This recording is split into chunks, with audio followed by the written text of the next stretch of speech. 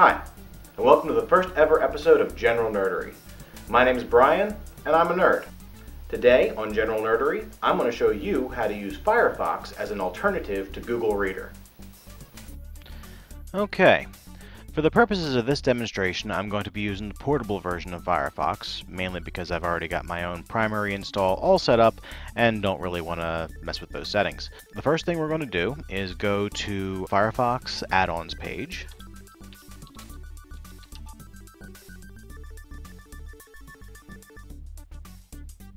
Okay, we're going to just search for feed. And the app we are looking for is Feed Sidebar right here. Uh, this is going to allow us to use Firefox in much the same way that Google Reader functions. Alright, we're going to need to restart to get that to work. Whenever you install any application, uh, or add-on rather, in Firefox, you do need to restart it in order to get it to work. We're going to decline this because this demo isn't about smart links. Okay. Now, this is the little button here for the feed sidebar, and as we press that, it opens up the bar on the side. This is where all our feeds are going to go. Now, if for some reason this button does not appear, and I have seen that happen, for example, when I was using the uh, beta, well, when the Firefox 4 was in beta, rather, uh, this wouldn't appear.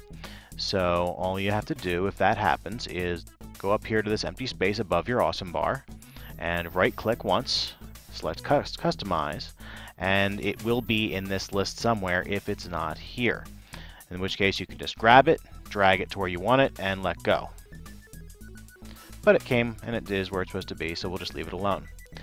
The next thing we're going to do is go and look for some feeds. Now I've already prepared a few links.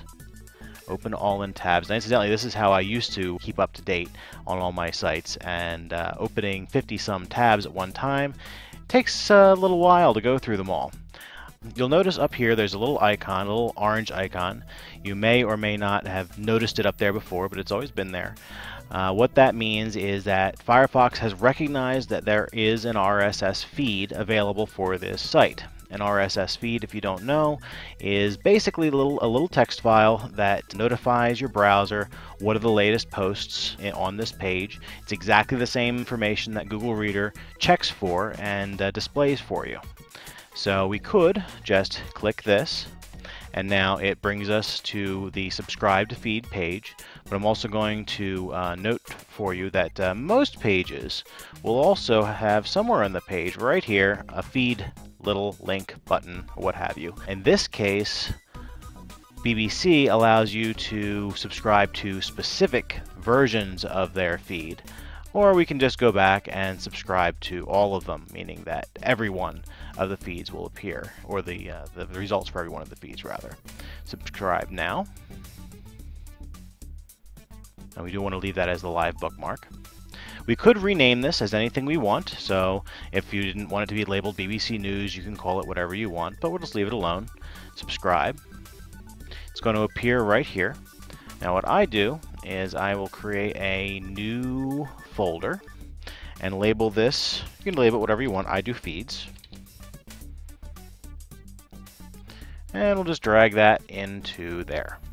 Oops. There we go. That's where we're going to put all the pages that we subscribe to from now on, just to keep from cluttering up our shortcut bar. So now we'll close BBC, and go on to the next one, just Slashdot. Once again, we have the option of uh, selecting their little feed button, but I always just use the one built in Firefox as long as it's there. Subscribe now. Once again, we'll leave it as Slashdot. Go on to the next one. Subscribe. And finally, you can also subscribe to things like YouTube pages. Uh, you might recognize this one if, uh, you found, if you're watching this video. Uh, it's also empty because, well, this is the very first video for my, for my new page here. So we'll subscribe to that as well. And now any uh, uploads that I make to the General Nerdery YouTube page will appear in the feeds list, which, by the way, has been building this whole time. And it's also appreciated if you actually subscribe within YouTube if you're going to use this method, uh, or subscribe within YouTube as well, I should say. Um, these are all the various articles and postings from the various websites that we subscribed to that we haven't read yet. And by all of them, I mean the most most recent ones. Uh, don't worry, you're not going to suddenly wind up with a link to every single article on every single web page that you su subscribe to, just the most recent ones. Now, if we click on one, there, we're brought immediately to the article, and it goes away from your sidebar. So that way you don't accidentally uh, wind up with a backlog of things that you've read multiple times and so forth. Every time you click on something, it takes you there, and the link goes away. Now, the buttons up top here. You'll see that we have uh, open all in tabs. That means that it would open every article from every, every unread article, let me say, from every one of the feeds that you subscribe to at one time in each one in a tab. Uh, if you have more than just a couple sites that you subscribe to, that could be a mess, so we're going to leave that one alone. Uh, the next one is mark all in all as read.